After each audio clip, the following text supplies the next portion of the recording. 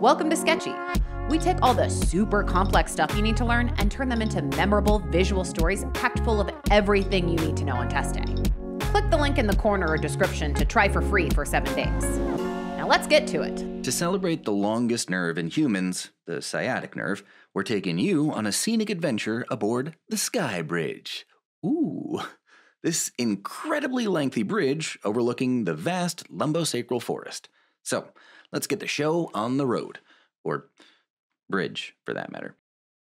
The sciatic nerve arises from the L4 through S3 nerve roots of the lumbosacral plexus, which is why there's some lumbar in the shape of a 4 and a 3 shaped stream off in the distance. With respect to its course, the sciatic nerve leaves the pelvis by passing below the piriformis muscle through the greater sciatic notch to enter the gluteal region.